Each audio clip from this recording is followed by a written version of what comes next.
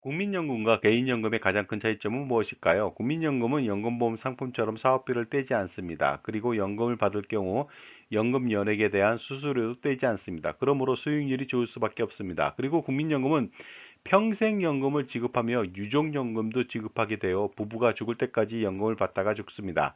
반면 연금보험 상품은 연금을 받다가 사망하는 경우 최저보증 지급 기간까지만 연금을 지급하고 종결하게 됩니다. 또한 국민연금은 현재 가치의 연금액을 지급하기 때문에 미래의 물가 상승률에 따라 연금액을 걱정할 필요가 없습니다.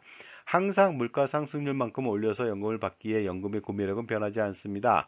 하지만 연금보험 상품은 연금액이 미래에 지급할 금액으로 물가 상승률을 반영하지 않기에 연금의 현재 가치는 미미하게 짝이 없습니다. 따라서 노후에 물가가 오르면 항상 쪼들리는 생활비로 절약할 가능성이 너무나도 높습니다.